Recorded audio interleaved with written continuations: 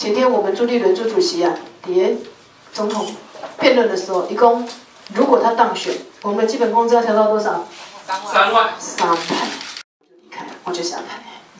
对不起，我们劳工朋友。可是我跟大家报告，这次我们基本工资如果可以从两万零八调到三万，我们调多少？调一万块。一万块可以买多少颗茶叶蛋？好多好多颗茶叶蛋，对不对？想起我们小时候跟现在，整个社会的氛围差多多，是不是？他说他爱台湾，真的有在照顾台湾吗？